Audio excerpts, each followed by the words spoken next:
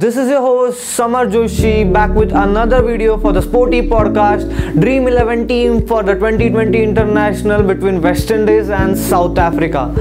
so, ये video मैं पहले ही बना सकता था पर मैंने पहले दो मैचेस देखे देखा कि पिच किस तरह काम कर रहा है वेदर क्या है और कौन से प्लेयर फॉर्म में है, नहीं है। एनालिसिस किया और आपके लिए दो बेस्ट टीम लेके आया। एक मेगा अगर आप खेलोगे, वो एक करोड़ वाला। उसके लिए भी एक परफेक्ट टीम है आपके लिए और आप छोटे कॉम्पिटिशन या अलग कॉम्पिटिशन खेल रहे हो, उसके लिए भी एक टीम है। दोनों टीम बताऊँगा। पहले हम स्टैटिस्टिकली एनालाइज करेंगे। वेदर के बारे में बात करेंगे कि वेदर कैसा है। क्रिकेट के लिए काफ़ी अच्छा वेदर है वेस्ट इंडीज़ में। थोड़े क्लाउड्स है 20 टू 25 डिग्री सेल्सियस है और क्लियर एंड सनी टेम्परेचर है। पिच के बारे में बात करते हैं। पिच बहुत अच्छी है। Good for batting of course West Indies की पिच है। 180 गुड स्कोर है। पर जैसे जैसे गेम आते, आगे जाते जाता है स्पिन को चांस मिल सकता है। जैसे हमने पिछले दो मैचेस में अगर आपने स्कोर कार्ड देखा होगा तो स्पिन को चांस मिलता है। तो spin might come to play in the later stages of the game so without any further due हम टीम के बारे में बात करते हैं। हमारा पिच एनालिसिस हो गया वेदर एनालिसिस हो गया। और ये मैच uh, होगा ग्रेनाडा में वेस्ट इंडीज़ में। तो uh, पहले नॉर्मल टीम के बारे में बात करते हैं जो आप सब में खिलवा सकते हो।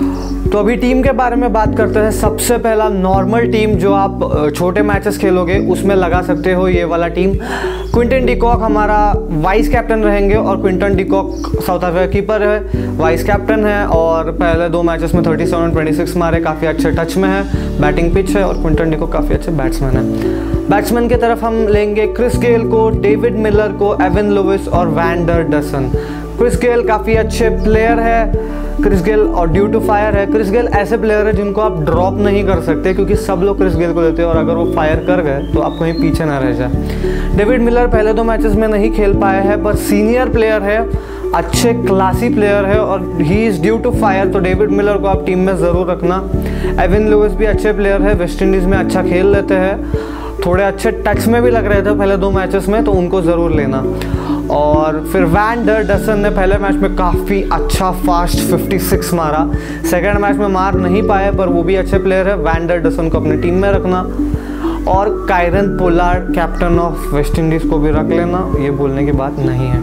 ऑलराउंडर में एंड्रे रसल को रखना ज़रूर। और एक और ऑलराउंडर है जी लिंडे जो साउथ अफ्रीका के नए ऑलराउंडर है स्पिनिंग ऑलराउंडर है और पिछले मैच में मैन ऑफ़ द मैच भी थे सेकेंड ट्वेंटी ट्वेंटी इंटरनेशनल में। तो उन्हें ज़रूर रखना। बॉलर्स में Kagiso Rabada no doubt O McCoy, ये नए बॉलर है वेस्ट इंडीज़ के। काफ़ी अच्छी बॉलिंग करते हैं, तीन विकेट लिए उन्होंने पहले मैच में। तो उन्हें ज़रूर रखना। और सिंकलेयर ये भी एक बॉलर है, इन्हें भी रख लेना, ये भी अच्छे बॉलर हैं। मेगा लीग के बारे में बात करते हैं। थोड़ा सा अलग टीम है। पहले क्विंटन डिकॉक को रख लेना। हाइनरिक क्लासन, जिसको हमने पिछले टीम में मिस किया, ये अच्छे प्लेयर है। इन्हों रखना Chris Gayle, Hendricks, van der Dussen और शिमरन हटमायर, कायरन पोलार्ड और Andre Russell Kagiso Rabada Oshane Thomas और एंड्रिक नोकिया। ये मेगा लीग वाला है। अगर आपको कहीं बॉलर और ऑलराउंडर में आपको मेरा चॉइस नहीं पसंद आता, आप फिन एलन को भी अपनी टीम में रख सकते हैं। काफ़ी अच्छे बैट्समैन है, बहुत अच्छा मारा पिछले मैच में और पहले मैच में दो विकेट भी लिए। तो even he can be a good adding to your team और इतना बस ध्यान रखना टॉस के वक्त अगर टीम में कोई चेंजेस हो गए तो आप वो चेंजेस लगा देना। आपको कोई ड्रीम इलेवन टीम चाहिए जो मैं एनालाइज करके आपको बताऊँ कमेंट सेक्शन में बताऊँ। This is your host Samar Joshi signing off sporty podcast